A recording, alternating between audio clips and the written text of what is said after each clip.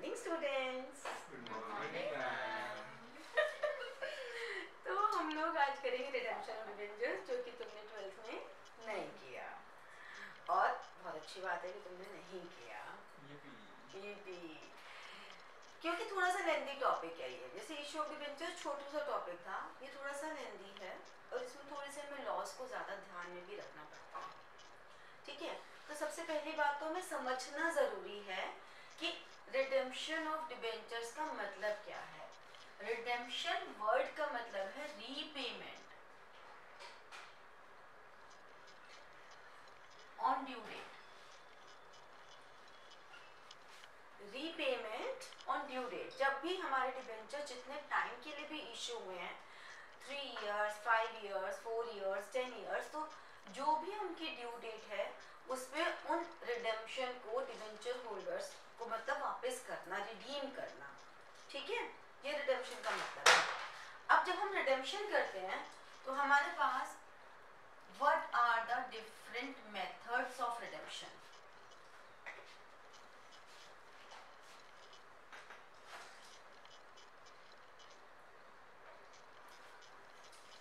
हमारे पास चार मेथड्स हैं रिडक्शन के एक है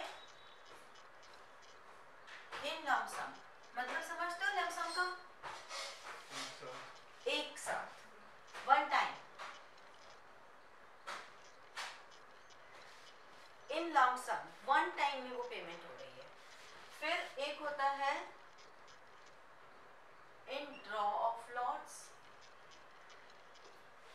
draw of lots का मतलब है इंस्टॉलमेंट्स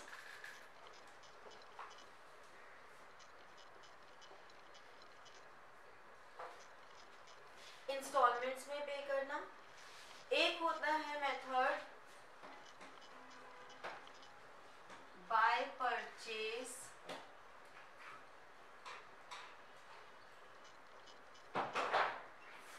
ओपन मार्केट अपने खुद के ही डिवेंचर्स ओपन मार्केट से परचेज कर लेना।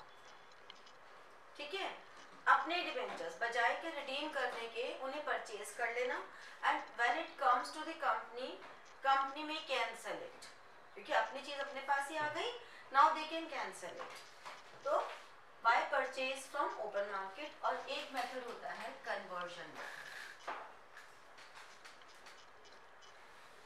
कन्वर्जन मतलब हम डिबेंचर्स को in the another category of debentures में भी कन्वर्ट कर सकते हैं।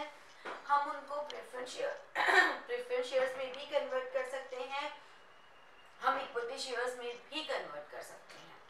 तो debentures can be converted in another category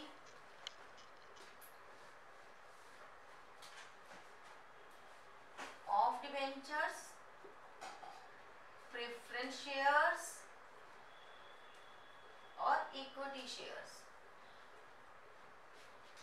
ठीक है? ये जो हम परचेज कर रहे हैं, ये हम इन्वेस्टमेंट पर्पस के लिए भी कर सकते हैं। कंपनी के पास सरप्लस फंड है company wants to invest somewhere company can invest in their own debentures and हम कैंसिलेशन के लिए भी कि हम एक बार परचेज कर लें फिर हम इन्हें कैंसिल कर देंगे। ठीक है? ये होता है। अब इन सभी पर्पस के लिए हम जो कन्वर्टेबल डिबेंचर्स होते हैं वो इक्विटी शेयर में भी कर सकते हाँ। देखो ना इक्विटी शेयर्स में भी कर सकते हैं। हैं वही वाले हैं, ये कन्वर्शन हम डिबेंचर्स में शेयर्स में किसी में भी कन्वर्ट कर सकते हैं। ठीक है? ये हमारे होते ही कन्वर्टेबल है। ठीक है? तो ये कन्वर्टेबल डिबेंचर्स हैं। ये जो तीन मेथड्स है, इन तीन मेथड्स में हम लोग आउट ऑफ़ कैपिटल भी कर सकते हैं।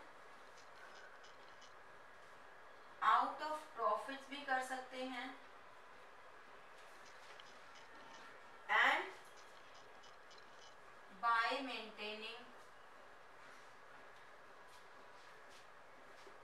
sinking fund भी कर सकते हैं। सिंक सिंक वर्ड का मतलब क्या होता है? डूबना।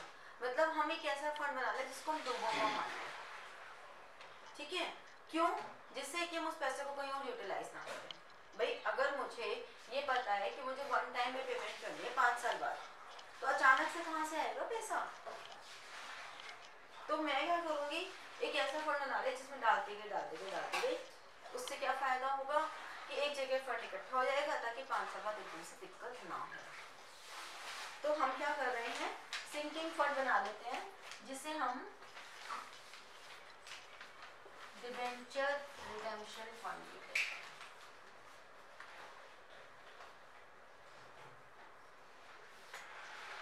तो अब हमें करना क्या है?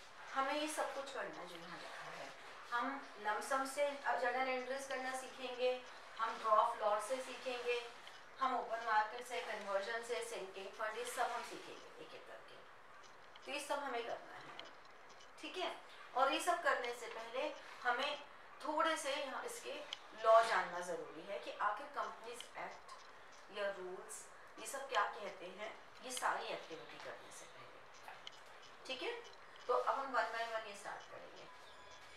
अब थोड़े से जो हमारे कंपनीज़ एक्ट के रूल्स के पॉइंट्स हैं, वो लिख लो। लिखो। इफ़ पहला पॉइंट लिखो if no profits are utilized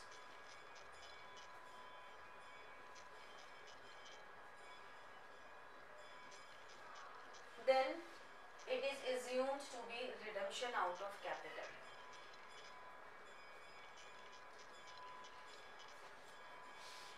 ठीक है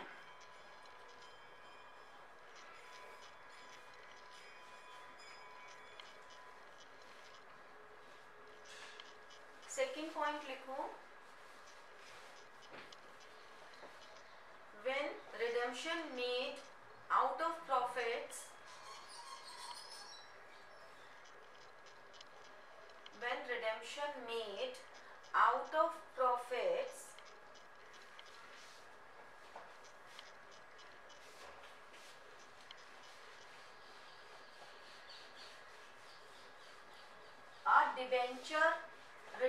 and reserve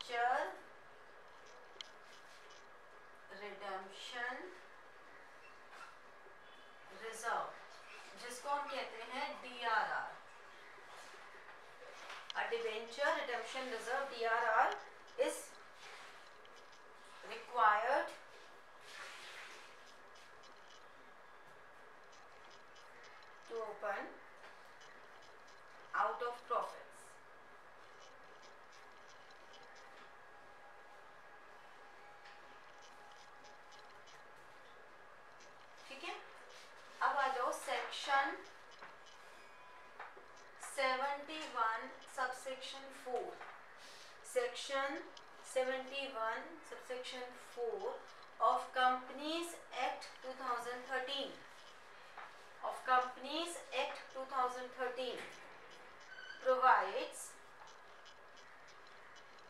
that the company shall create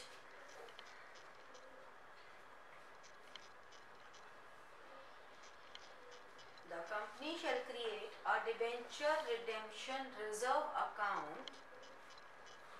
debenture redemption reserve account out of profits of the company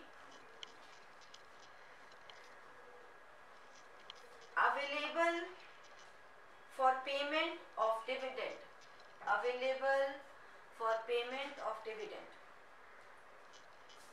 and the amount and the amount credited to such account credited to such account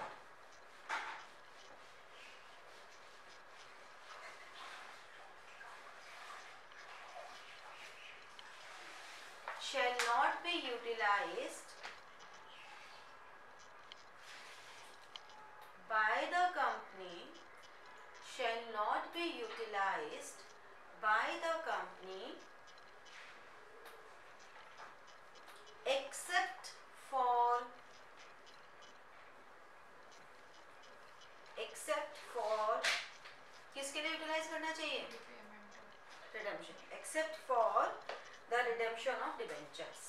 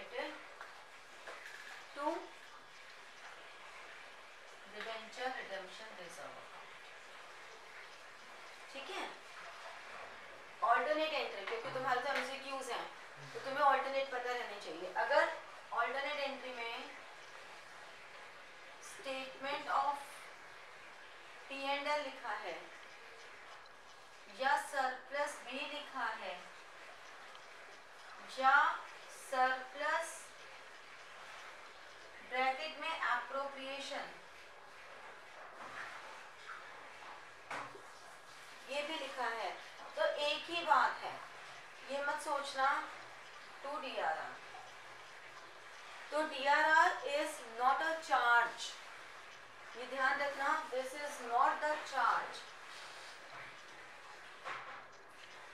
this is appropriation. हम तो redemption क्यों होता है कि loss हुआ था review करना होता है। तो हम रिडम्पशन की तो मना नहीं कर रहे। हम तो ये कह रहे हैं हम डीआरआर जो बना रहे हैं। ये तो रिज़र्व है ना। तो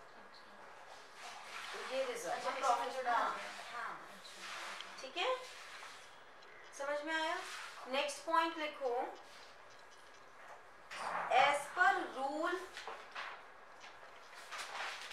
as per rule 18 sub rule 7 as per rule 18 sub rule 7 of the companies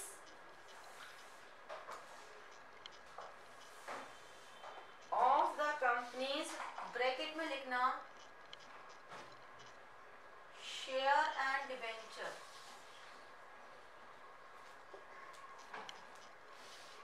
share and debentures bracket close rules 2014 2013 में कंपनीज़ एक्ट आया था 2014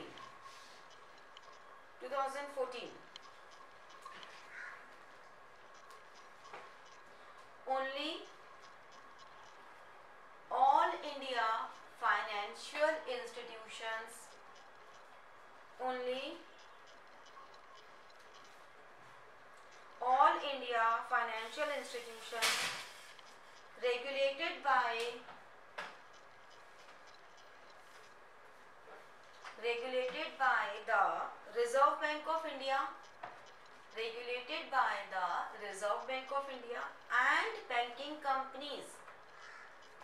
And banking companies are exempt from creation of debenture redemption reserve. From creation of debenture redemption reserve logic बता सकते हो कोई? कि आखिर क्यों उनको रिडेम्पशन से एग्जेम्प्ट किया? पैसा तो दरिया पैसा तो होगा। पैसा तो होगा। सही बात है बैंक सबका पैसा रख रहा है। और? क्यों किया? क्या मोटिव रहा होगा इसके पीछे कि उन्होंने इनको एग्जाम्प्ट कर दिया?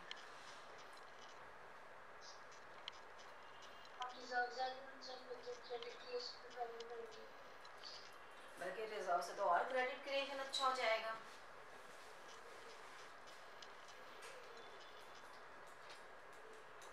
बहुत नज़दीक हो। देखो, एक पॉइंट जो उसने बोला, वो बिल्कुल वैलिड पॉइंट है कि अगर इनको भी हम रिज़र्व बनाने के लिए बोल देंगे तो क्रेडिट क्रिएशन के लिए पहले से ही ऑलरेडी इतने रिज़र्व उनको बनाने ज़रूरी हैं। एक नया रिज़र्व और डाल देंगे तो उनके पास लेंडिंग कैपेसिटी कम हो जाएगी। तो क्रेडिट क्रिएशन पॉसिबल नहीं हो पाएगा। कम होगा मतलब पॉसिबल तो हो ही जाएगा बट कम होगा। दूसरा already they are maintaining statutory liquid ratio already they are maintaining crr so they need not to maintain separate reserve basically, ये रिज़र्व हम क्यों बना रहे हैं? Just for the sake of debenture holders कि एंड मोमेंट पे आके debenture holders को कोई पेमेंट करने से रुक ना जाए। तो ये ऑलरेडी फाइनेंशियल इंस्टीट्यूशन है। इनका काम ही है ये फाइनेंस में डील करना। तो दे डोंट रिक्वायर फिर बाद में, पहले तो ये हर कंपनी के लिए होता था। ठीक है? सिर्फ़ फाइनेंशियल को छोड़ दिया। लेकिन इंफ्रास्ट्रक्चर के लिए भी पहले एग्जामेशन हुआ करती थी। पुराने एक्ट में। 1956 का जो एक्ट था, उसमें इंफ्रास्ट्रक्चर कंपनीज़ को भी ज़रूरत नहीं थी। लेकिन बाद में भैया इंफ्रास्ट्रक्चर कंपनीज़ ने भी बड़े रायते फैलाए। तो उतने जो रायते फैले उसकी वजह से, और कंपनीज़ ने ही ऑलमोस्ट जॉइंट स्टॉक कंपनीज़ ने ही बहुत रायते फैलाए। तो हमारा नया कंपनीज़ एक्ट आया उसने कहा, सब बनाओ। जितनी भी लिस्टेड कंपनीज़ हैं, उनको ज़रूरत नहीं है, लेकिन सारी अनलिस्टेड कंपनीज़ को बनानी है। जिससे कि सेफ्टी रहे इन्वेस्टर्स की। तो आगे एक और पॉइंट आया लिखो next further the ministry of corporate affairs further the ministry of corporate affairs on August 2019 ये डेट्स कुछ इंपॉर्टेंट हैं, क्योंकि आपके रिडेम्शन में से, देखो, आपका मोटा मोटा ये मान के चलो, पचास क्वेश्चन है, ठीक है? पचास क्वेश्चन में आपके पास जितने चैप्टर्स हैं, अगर हम ऐसे माने मोटे मोटे की पार्टनरशिप कंपनी बुक थ्री और कंप्यूटराइज्ड अकाउंटिंग तो ये मान के चलो कि इक्वल इक्वल तो नहीं आएँगे पार्टनरशिप थोड़े ज़्यादा आएँगे तो 15 क्वेश्चन कोई स्पेसिफिक उन्होंने सी ने बोला नहीं कि किसमें से कितने आएँगे. बट जो अभी पीछे दो, तीन पेपर हुए हैं, और उसमें जो उनके अलग अलग सेट्स आए हैं, उन सबसे हम ये कह सकते हैं कि अराउंड 15 टू 20 क्वेश्चंस पार्टनरशिप से आ जाएँगे। 10 से 15 क्वेश्चंस हमारे इसमें से आ जाएँगे कंपनी में से आ जाएँगे। फिर 10 से 15 क्वेश्चन बुक थ्री से आ जाएँगे, पाँच से सात क्वेश्चन कंप्यूटराइज आ जाएँगे। अब होता क्या है कि हम इसीलिए कंप्लीटली सब कुछ नहीं छोड़ सकते। मोस्टली जिन्होंने कंप्यूटराइज अकाउंटिंग नहीं पढ़ी, वो कंप्यूटराइज्ड अकाउंटिंग सोचते छोड़ जाते हैं। क्योंकि हमें लगता है कि उन पाँच क्वेश्चंस के लिए क्या पढ़े। लेकिन सोचो, तुमने ऑलरेडी अपनी चॉइसेस खत्म कर दी। How can you be very much sure कि जो हमने किया, उसमें से हम सारे क्वेश्चंस कर लेंगे? तो हमें करना रिडम्शन भी पड़ेगा। मुझे ये भी बच्चे कहते हैं कि हम रिडम्शन ना करें, हम रिडम्शन भी ना करें। हम कंप्यूटराइज अकाउंटिंग भी ना करें। तो हम मतलब बिल्कुल अपनी चॉइस खत्म कर देंगे। डोमेन में अच्छा करने का फ़ायदा क्या है? डोमेन का एक स्पेसिफिक सब्जेक्ट सिलेबस है। हम उतना कर लेंगे, हम कह सकते हैं हमने पूरा सिलेबस कर लिया। तो हमारी जो कट ऑफ़ है, वो जीटी के बेसिस पे नहीं, हमारी कट ऑफ़ डोमेन के बेसिस पे ज़्यादा मैटर करती है। क्यों? क्योंकि जीटी का सिलेबस हमारा इतना इतना वास्ट है कि हम कितना कर लें उसके बावजूद भी you can't be so much of sure इतना तो हो ही नहीं पाओगे श्योर क्योंकि कितनी कर लोगे? भाई सिंपल सी बात है जो बच्चा यूपीएससी की प्रिपरेशन कर रहा है, वो जर्नल स्टडीज़ जैसे सब्जेक्ट को पढ़ने में अपना पूरा एक साल, डेढ़ साल लगाता है। और तब भी वो ज़रूरी नहीं है कि सारी जनरल स्टडीज़ करते हैं। तब भी वो काफ़ी टॉपिक छोड़ते हैं। हर कोई अपना एरिया देखता है कि मेरा एरिया कहाँ स्ट्रॉन्ग है। तो वो 20-25 परसेंट छोड़ते ही छोड़ते हैं। तब जाके वो यूपीएससी को क्रैक कर पाते हैं सिक्सटीज के स्कोर पे आके। तो मतलब मैं तुम्हें डिमोटिवेट नहीं कर रही हूँ, मैं सिर्फ़ तुम्हें ये बता रही हूँ कि अपनी एनर्जी को हमें जीटी पे पुट करना चाहिए, कहाँ करने में? लॉजिकल रीजनिंग में क्वांट में करंट अफेयर्स में, जिनका एक लिमिटेशन है कि करंट अफेयर्स पिछले छः सात महीने की होगी, ठीक है, ज़्यादा एक साल की हो जाएगी, और उस करंट अफेयर से रिलेटेड ही स्ट्रैटेजी के कर लो बस। जहाँ पे करंट अफेयर्स एग्जिस्ट कर रहे हैं, वहीं के स्ट्रैटेजी के कर लो दैट इज़ सफिशिएंट आप एल आर पे क्वांट पे रिलाई कर सकते हो। ठीक है? लेकिन डोमेन्स में आप हंड्रेड परसेंट रिलाई कर सकते हो कि यही सिलेबस है और यही करना है। तो हमारी जो कट ऑफ़ मैटर करती है वो डोमेन्स पे और जीटी के लॉजिकल रीजनिंग और क्वांट वाले पोर्शन पे करती है। डेटा इंटरप्रिटेशन मतलब हमारा बेसिकली जो जर्नल और जिसके मुश्किल से पाँच सात क्वेश्चन आते हैं। तो आपको जो फोकस करना है, अपना वो करते हैं कॉमर्स के बच्चे हैं। Management by exception to concentrate on the exceptional things which needs more control तो आपको वही पॉलिसी अपनी प्रिपरेशन में लगानी है। ठीक है? इसीलिए हमारे लिए रिडम्शन करना भी ज़रूरी है, क्योंकि रिडेम्पशन में भी आपको अगर चार क्वेश्चन भी आते हैं और आपके वो ठीक हो जाते हैं तो आपके पास एक स्कोप रहता है कि आप कौन से क्वेश्चन छोड़ो। फोर्सफुली छोड़ के जाने की कभी मत सोचना। ठीक है? तो अब यहाँ पर कुछ तो डेट्स वाइज देखो, बहुत रेयर चांसेस होते हैं कि बहुत डीप अकाउंटिंग आ जाए रिडम्शन में से। क्योंकि पेपर बनाने वाले भी ये बात जानते हैं। तो डीप नहीं आएँगे तो क्या आएँगे? एक तो ऊपर ऊपर की बेसिक एंट्रीज और ये फैक्ट्स आपको सेक्शन पता होना चाहिए, आपको रूल्स पता होने चाहिए। क्योंकि अगर कोई बच्चा, ये हमेशा आगे के हर एग्ज़ाम का पेपर पैटर्न ऐसे होता है कि आपका ना थ्योरी एंड प्रैक्टिकल मिक्स रहते हैं। थ्योरी एटलीस्ट इतनी ज़रूर होती है कि अगर किसी बच्चे ने प्रैक्टिकल नहीं भी किया तो उसका काम चल जाए। तो इसीलिए थ्योरी पे पूरा इसका फोकस डालो रिडम्पशन में है थ्योरी का पार्ट ठीक है? और बेसिक एक्टिविटीज़ कर लो। तो अब नेक्स्ट लिखो in August 2019 announced removal of, announced removal of debenture redemption reserve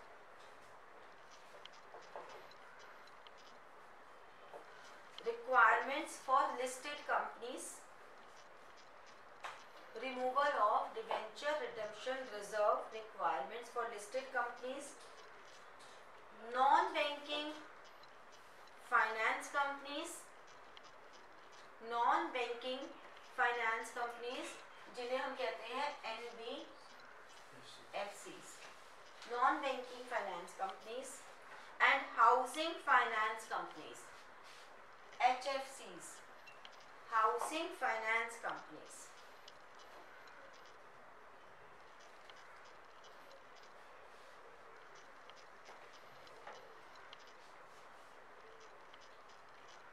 ठीक है? नेक्स्ट पॉइंट लिखो। हम मतलब सारी कंपनीज़ की जो लिस्टेड ही। होती हैं लेकिन कुछ कंपनी जो अपने आप को लिस्ट नहीं करवाती उनके लिए ज़रूरी है क्योंकि लिस्टेड कंपनीज़ तो फिर सिक्योर ही रहती हैं। सेफ्टी मेजर्स रहते हैं। नेक्स्ट पॉइंट लिखो।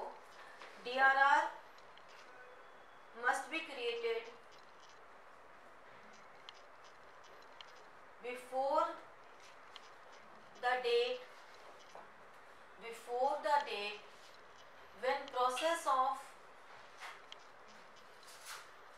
when process of redemption begins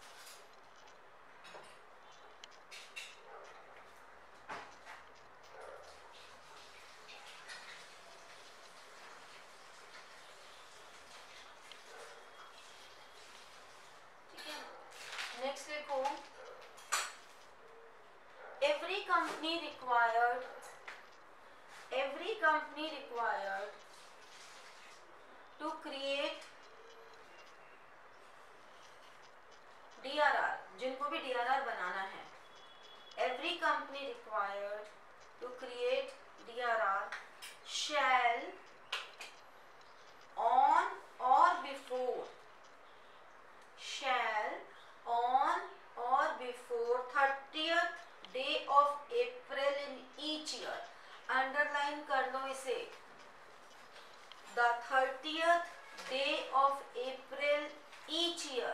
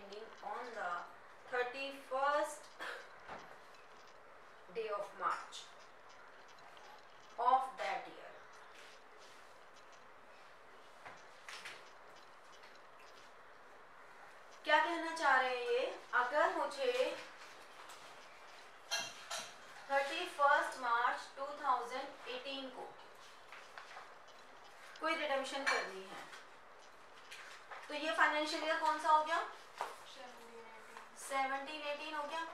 तो यानी कि मुझे थर्टियथ अप्रैल 2017 तक मैक्सिमम इससे पहले कर दिया तो कोई दिक्कत ही नहीं है। लेकिन this is the last date तब तक जितना अमाउंट आपको रिडीम करना है, उसका 15 परसेंट इन्वेस्ट करना ही करना है या डिपॉजिट कराना है।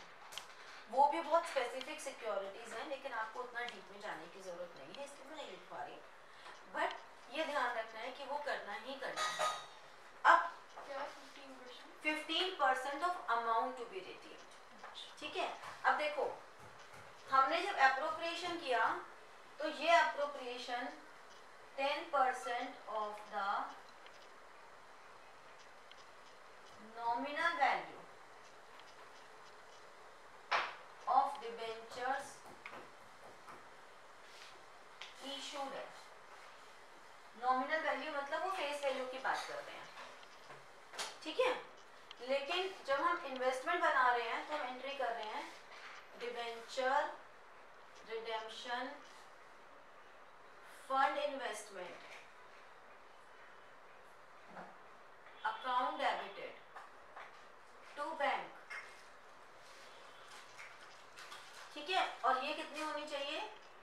Fifteen percent of the amount to be redeem दोनों में डिफरेंस क्या है? हो सकता है पहली बात कि हम सारा का सारा रिडीम नहीं कर रहे हो। दूसरा रिडेम्पशन जो होती है, वो तुम लोगों ने इशू में भी पढ़ा था कि redemption can be at premium यहाँ पे हम प्रीमियम वाली वैल्यू को कंसिडर नहीं कर रहे, लेकिन यहाँ पर हम प्रीमियम को कंसिडर कर रहे हैं। डिफरेंस समझ में आया? अमाउंट टू बी रिडीम अगर हम प्रीमियम पे रिडीम कर रहे हैं वो यहाँ कंसिडर हो रहा है। लेकिन यहाँ सिर्फ़ नॉमिनल वैल्यू पे टेन परसेंट बन रहा है।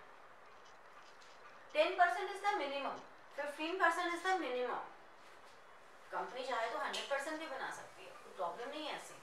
रोक नहीं है ज़्यादा बनाने पे। लिस्टेड कंपनीज़ को भी, रोक नहीं है बनाने पे वो बना सकती हैं। लेकिन उन्होंने बस एग्ज़ाम कर दिया।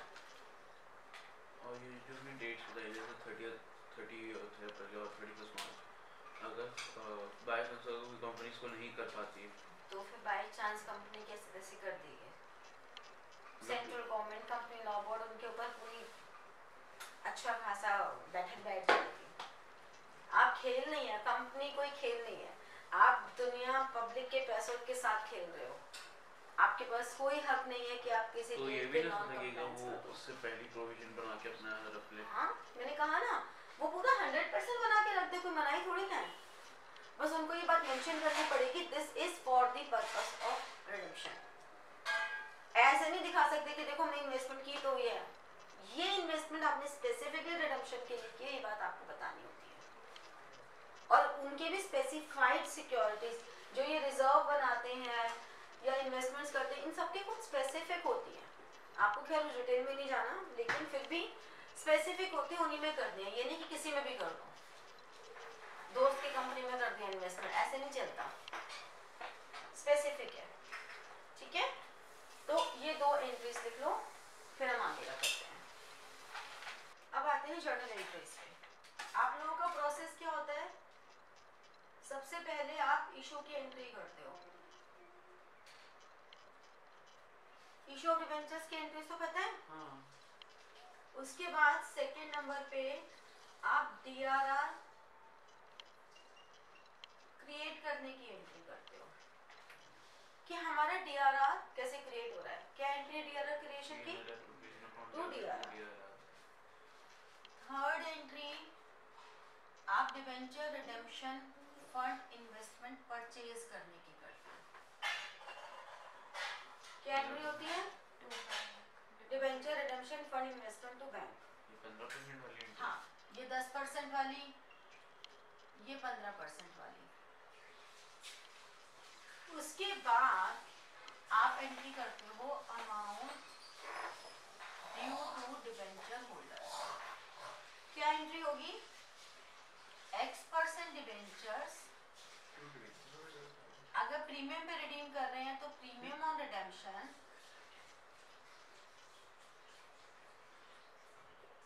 debenture holders debenture holder to bank debenture holders to bank TDS नहीं कटता इसमें नहीं इंटरेस्ट में कट गया पहले अभी जा रही हूँ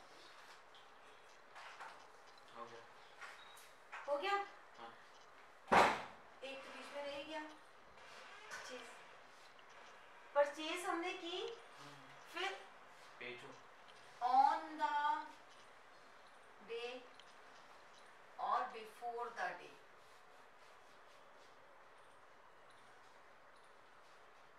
of redemption debenture redemption fund investments are sold.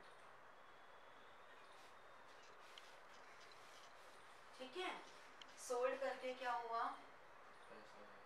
पैसा। आ गया। और क्यों बांट दिया।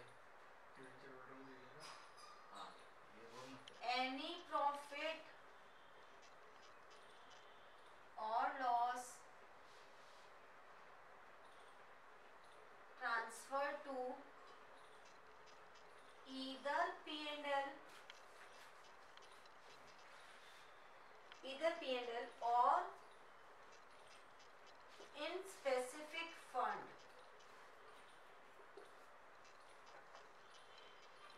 if maintaining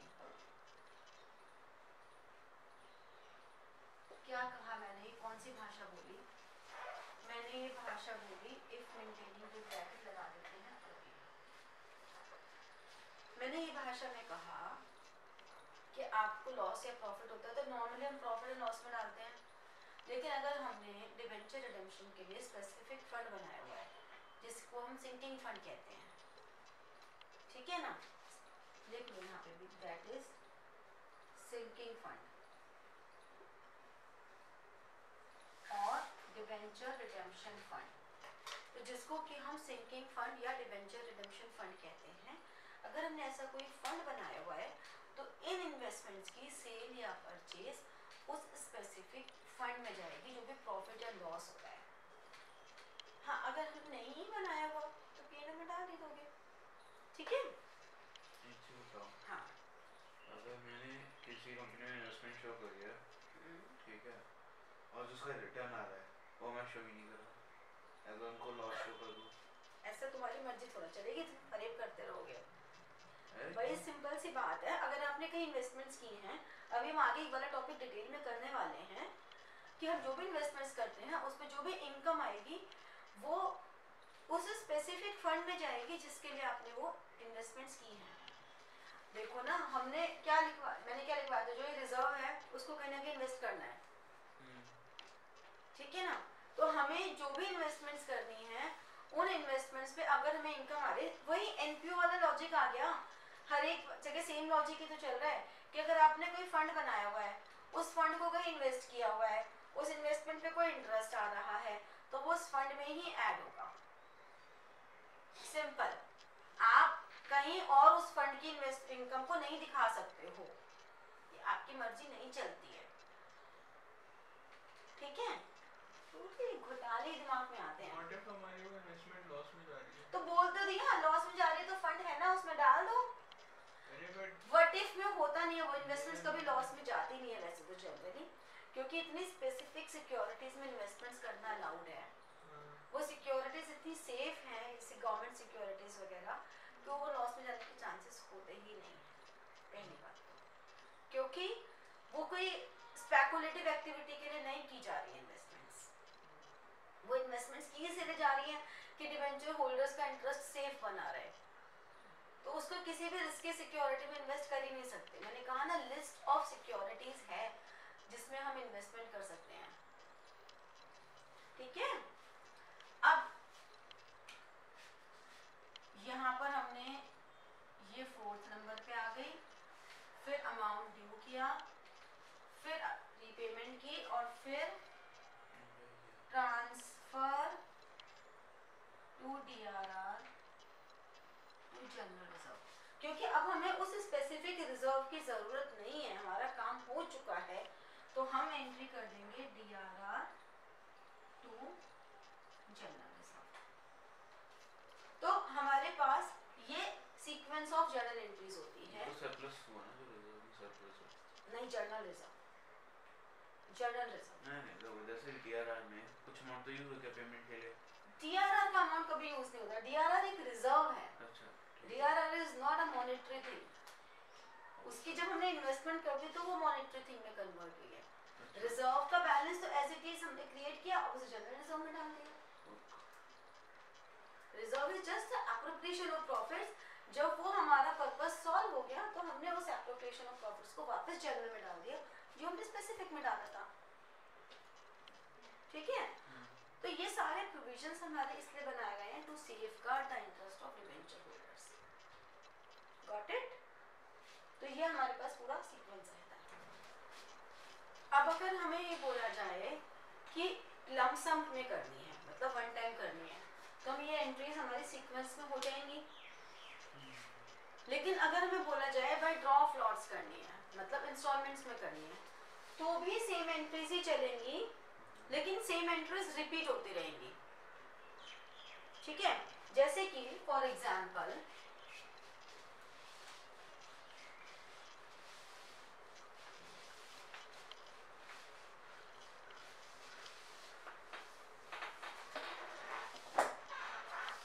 मैंने फ़र्स्ट अप्रैल 2020 को 10 परसेंट वेंचर्स इशू किए हज़ार at the rate of hundred ठीक है redeemable after three years simple. तो हम क्या करेंगे? फ़र्स्ट अप्रैल 2020 को तो बैंक अकाउंट डेबिट मैंने कंबाइन कर दी।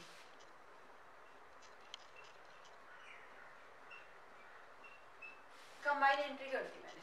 वरना हम एंट्री क्या करते हैं?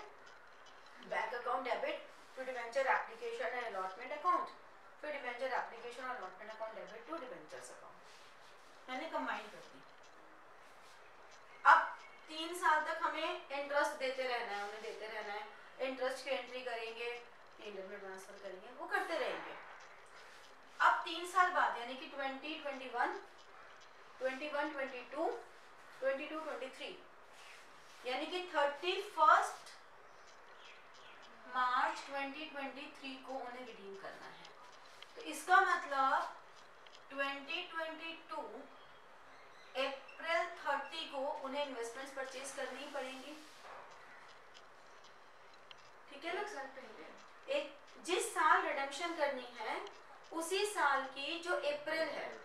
तो अगर हम 22 23 में रिडीम कर रहे हैं तो हमें यहीं पे इन्वेस्टमेंट्स परचेज करनी पड़ेंगी। डीआरआर ज़रूरी नहीं है कि हम यहीं बनाएँ। डीआरआर हो सकता है हम बिल्कुल लास्ट में यहाँ पे भी बना दें हम फ़र्स्ट को भी बना दें।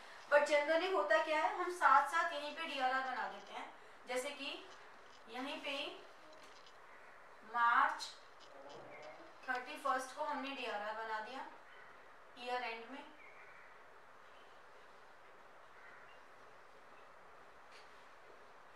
अगर हमें कुछ भी नहीं बताया तो हमने बना दिया। दस परसेंट डी बन गया। दस हज़ार।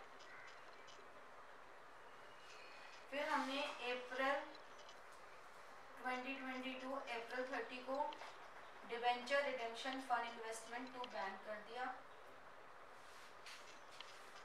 कितने से? 15 परसेंट पंद्रह हज़ार। और फिर हमने 2023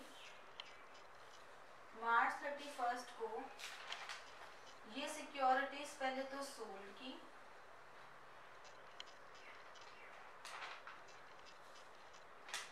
और फिर 10 percent debentures to bank same. क्या? ये सेम मोड में बिकी थी। ज़्यादा वहाँ पे भी हो सकती है। मैं तो समझाने के लिए सेल पे ही बेचती है। इनको मैंने रिडीम कर दिया एक लाख।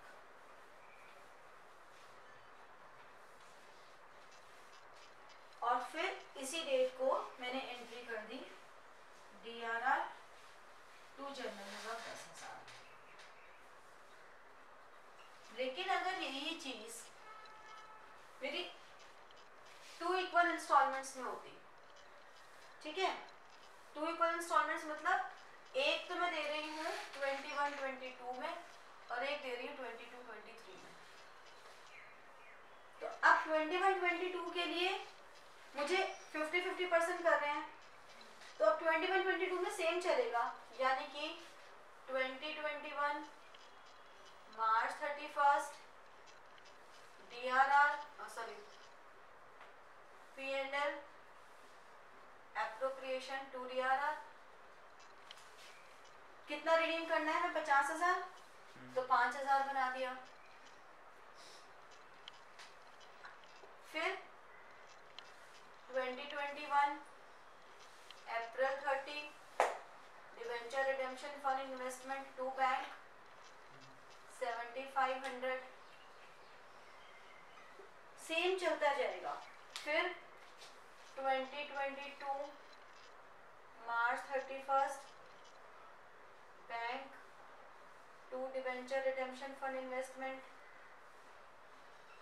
seventy five hundred से और फिर ten percent debentures to bank. कितने? पचास हज़ार। और फिर वही same D R R to general reserve ये एक साथ नहीं कर देंगे एक साथ भी कर सकते हो बट तुम्हें पता होना चाहिए कि यहाँ पे भी हो सकती है। क्योंकि जब एमसीक्यूज में पूछी जाती है, तब तो आपके पास ऑप्शन है ना कि हम यहाँ कर दें, यहाँ कर दें। तो आपको बात पता होनी चाहिए कि हम यहाँ पे भी कर सकते हो या लास्ट में भी कर सकते हैं। ठीक है? हम ये भी कर सकते थे कि यहाँ पे पूरा का पूरा डीआरआर अभी बना देते। ये भी पॉसिबल है। हम ये भी कर सकते थे, जिस दिन इशू किया फ़र्स्ट अप्रैल को, हम डीआरआर उसी समय बना दें। तो ये सारी पॉसिबिलिटीज होती हैं। ऐसा नहीं है कि हाँ ये बहुत स्ट्रिक्ट है। उन्होंने मैक्सिमम डेट दी है कि इन्वेस्टमेंट थर्टी अप्रैल तक हो जानी चाहिए। हो सकता है वो जिस दिन इशू करे, उसी दिन रिज़र्व बना दे, उसी दिन इन्वेस्टमेंट कर दे सारी की सारी। कुछ भी हो सकता है। ऐसे ही फिर सेम एंट्रीज बिल्कुल सेम टू सेम यहाँ चलेंगी। April thirty March thirty first same entries चलेंगी। समझ में आया? तो हमारा सेम चलेगा प्रोसेस लेकिन जब हम लमसम में कर रहे हैं तो हमारी एक ही बार में एंट्रीज हो गई। लेकिन जब हम ड्रॉ फ्लॉट्स में कर रहे हैं तो हमारी सेम एंट्रीज दो साल तक चलेंगी। समझ में आया? क्लियर हुआ? अब जब इसको आप नोट डाउन करेंगे तो दोनों साल के एंट्रीज प्रॉपर लिखेंगे। ठीक है? शॉर्टकट्स नहीं लेना अभी चाहे एमसीक्यूज है बट फिर भी आपको डिटेल पता होना चाहिए। ठीक है? गॉट इट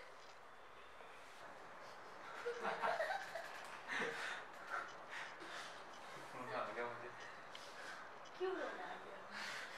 इतनी खुशी। खुशी के मारे। खुशी इतनी खुशी कि बस मुझे रोना ही आ गया। कौन बोलता है वो सलमान खान का नहीं। किसी मूवी में तो था ये। इतनी खुशी। इतनी खुशी कि ही गया यार इसका नाम क्या है पुराना actor है। हाँ. पार्टनर पार्टनर हाँ। चलो purchase of own debentures own debentures हम फॉर इमीडिएट कैंसिलेशन भी कर सकते हैं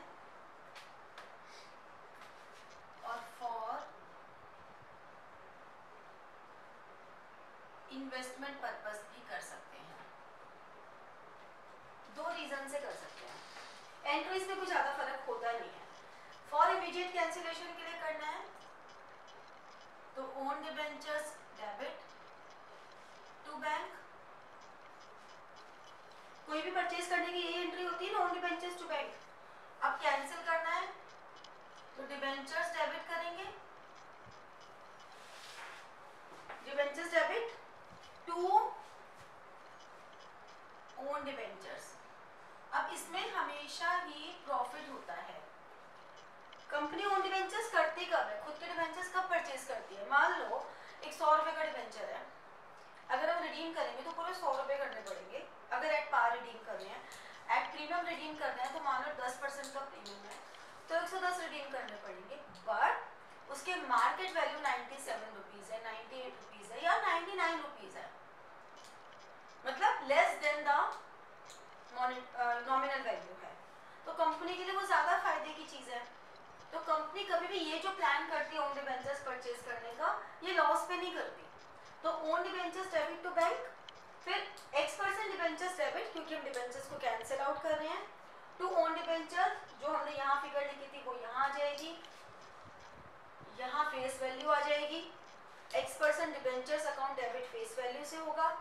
ओन डिवेंचर्स जो भी कॉस्ट है ऑफ़ परचेज ये जो own debentures debit cost of purchase से होगा। और to capital reserve gain on cancellation basically हम ये भी कर सकते थे कि यहाँ पे टू गेन ऑन कैंसिलेशन लिख देते फिर gain on cancellation to capital reserve कर सकते हैं। वो भी गलत नहीं है। लेकिन हम डायरेक्ट कैपिटल रिज़र्व में भी डाल सकते हैं। अब इन्वेस्टमेंट पर्पस के लिए होगा तो इन्वेस्टमेंट इन ओन डिवेंचर्स मैं कोशिश कर रही हूँ कि मैं जितना शॉर्ट में करा सकती हूँ, क्योंकि तुम सब बड़े थके हुए लग रहे हो। मैं कोशिश कर रही हूँ जितना शॉर्ट में करा सकती हूँ। बट इससे ज़्यादा शॉर्ट नहीं करा पाऊँगी। So excuse me interest in own debentures account debit to bank ये हमारी कॉस्ट हो गई purchase price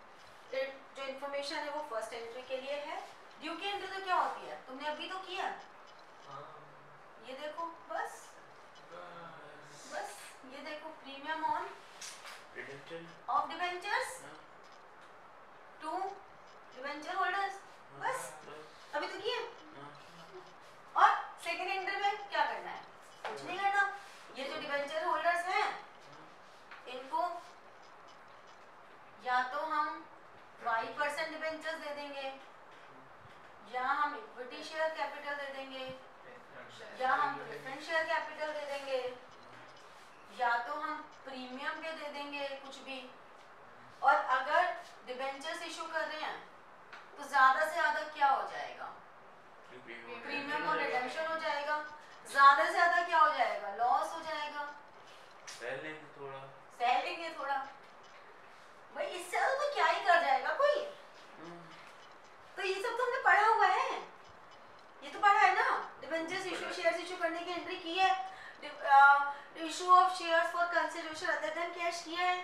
Issue of debentures for consideration other than cash किया है। वही तो लॉजिक लग रहा है, कुछ भी नया थोड़ी ना है। इसलिए मैंने करा दिया, कि कुछ भी नया नहीं है, वही है सब कुछ जो तुमने पढ़ा हुआ है। समझ रहे हो? कुछ भी नया नहीं है। नाम अलग अलग दे दिए इतने सारे, लेकिन बातें वही हैं। सिंकिंग फंड को नाम दे दिया। सिंकिंग फंड क्या है? वही डिबेंचर रिडेम्पशन फंड ही तो है।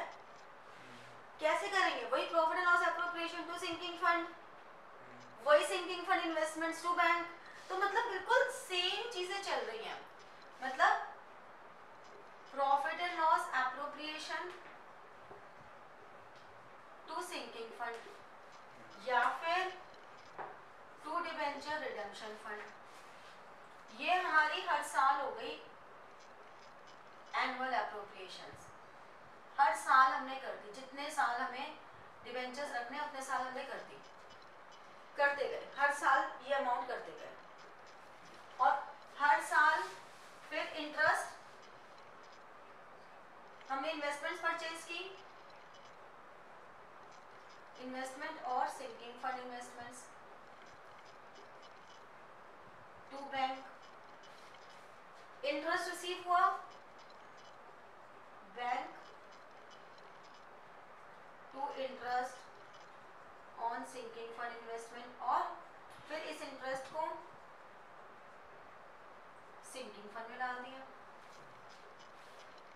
ये सब हमको पता ही है कि हमने एनुअल अप्रोप्रिएशन किया परचेज ऑफ़ इन्वेस्टमेंट की,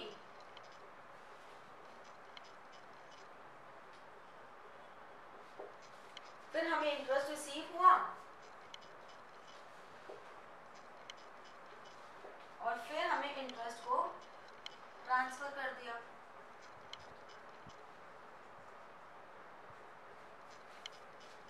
जब भी हमें रिडम्पशन करना होगा तो इस इन्वेस्टमेंट को सेल कर देंगे। अभी मैंने सेल की एंट्री तो बताई थी तुम्हें। सेल करेंगे तो प्रॉफिट और लॉस कहाँ आएगा? सिंकिंग फंड में जाएगा। और लास्ट में, क्योंकि हमको अब जब सिंकिंग फंड बना ही रहे हैं तो डीआरआर बनाने की ज़रूरत नहीं है। तो जैसे डीआरआर का बैलेंस हम लास्ट में उसमें ट्रांसफ़र कर देते हैं जर्नल रिज़र्व में। सिंकिंग फंड का भी जनरल रिज़र्व में कर देंगे मतलब सब कुछ बहुत रिलेटेड सा है सेम सेम चीज़ें ही है। बस वो दिखने में लगता है कि बहुत सारा है। है ना आसान? हो गया ना कॉन्सेप्ट खत्म? देखा? कितने? दस मिनट? दस मिनट के लिए कल भी डाल रहे थे टॉपिक बताओ। यू